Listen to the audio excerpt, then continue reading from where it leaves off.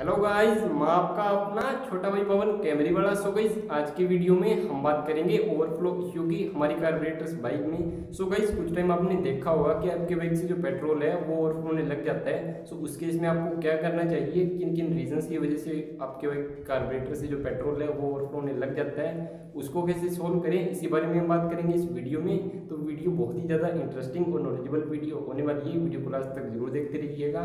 तो चलिए गाइज़ बिना किसी देरी के शुरू करते हैं वीडियो को।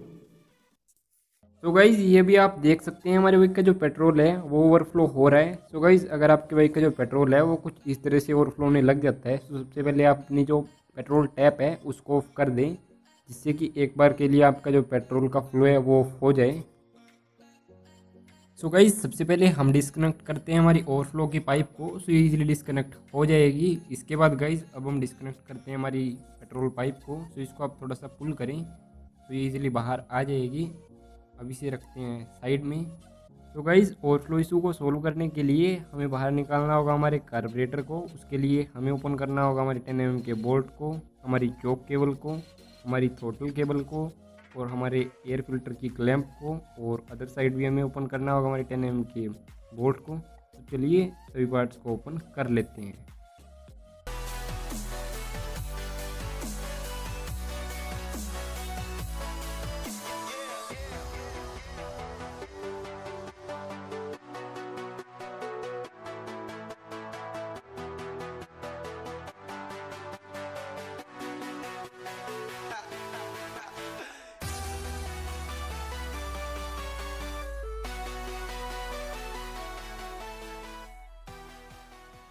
तो गाइज़ अगर आपका नीडल टाइप कार्बोरेटर है तो आप अपनी इस नीडल को एक क्लीन क्लॉथ के अंदर कवर करके बिल्कुल अच्छी साइड में रख दें, क्योंकि इसके डैमेज होने के काफ़ी ज़्यादा चांसेस रहते हैं।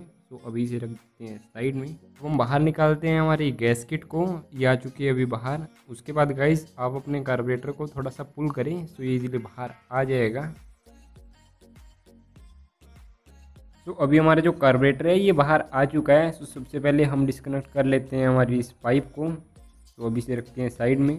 सो गाइज़ ओवरफ्लो इशू को सोल्व करने के लिए हमें सबसे पहले ओपन करना होगा इस चैम्बर को। उसके लिए हमें ओपन करना होगा हमारे स्क्रू को और इस अदर स्क्रू को।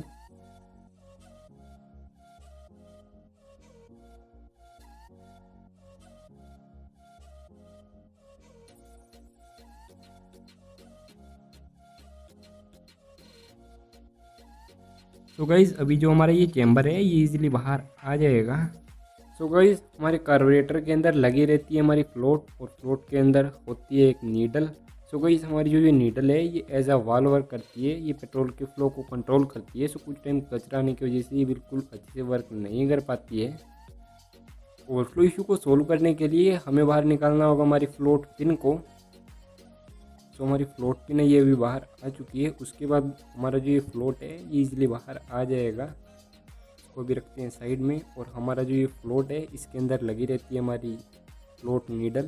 तो हमारी जो ये नीडल है, ये काफ़ी क्रूशियल पार्ट है। आप इसको बिल्कुल इसे इंस्पेक्ट करें। क्लीन करें। अगर क्लीनिंग से भी ओवरफ्लो इशू सोल्व नहीं होता है तो आप इसे न्यू भी परचेज़ कर लें।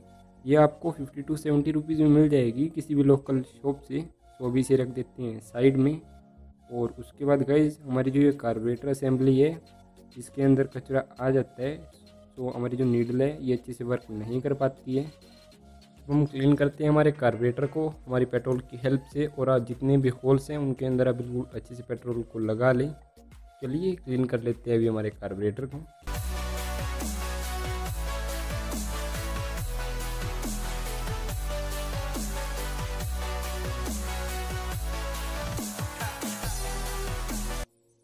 सो गाइज़ कार्बोरेटर को क्लीन करने के बाद आप इसे एक क्लीन सरफेस पे रख लें अदरवाइज़ क्लीनिंग का कोई भी बेनिफिट नहीं होगा।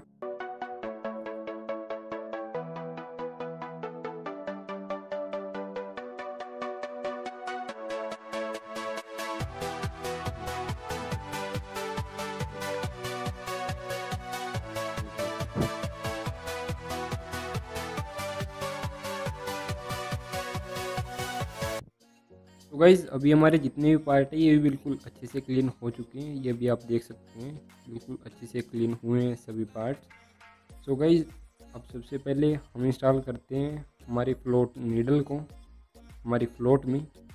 तो ये सिंपली ऐसे इंस्टॉल हो जाएगी। इसके बाद गाइज़ अब हम इंस्टॉल करते हैं हमारी फ्लोट को, हमारे कार्बोरेटर में। तो इस तरह फिक्स करने के बाद गाइज़ आप अपनी जो फ्लोट पिन है, इसको इंस्टॉल कर दें।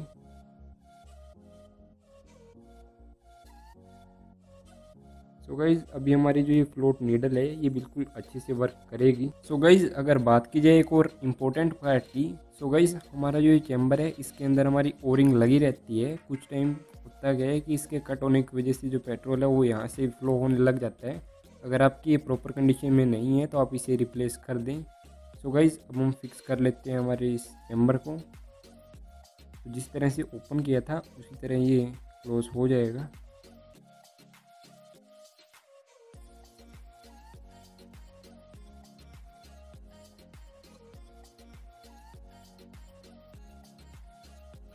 सो so गाइज़ अब हम कनेक्ट कर लेते हैं हमारी ओवरफ्लो की पाइप को तो ये भी इजीली कनेक्ट हो जाएगी।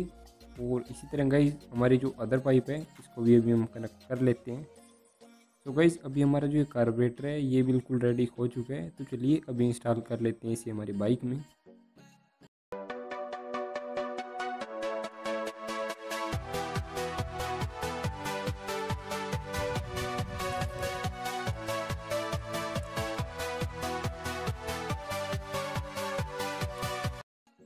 सो so गाइज़ ये भी आप देख सकते हैं हमारे जो पेट्रोल टैप है, ये अभी ऑन है और हमारे बाइक के कार्बोरेटर से बिल्कुल भी पेट्रोल ओवरफ्लो नहीं हो रहा है। सो so हमारा जो ओवरफ्लो इशू है, वो बिल्कुल अच्छे से अभी सोल्व हो चुका है। सो so गाइज़ इसी तरह आप अपने किसी भी कार्बोरेटर बाइक के अंदर ओवरफ्लो इशू को बिल्कुल इजीली सोल्व कर सकते हैं। उम्मीद करता हूँ मेरी छोटी सी वीडियो आपको पसंद आई होगी। मेरी इस छोटी सी वीडियो से आपके कुछ हेल्प हुई होगी। अगर मेरी ये छोटी सी वीडियो आपको पसंद आई है तो प्यारे प्यारे कमेंट करिएगा वीडियो को लाइक करिएगा। नई वीडियो बहुत जल्द आने लग रही है, बस कुछ ही दिनों में तब तक के लिए जय हिंद, जय हरियाणा, वंदे मातरम।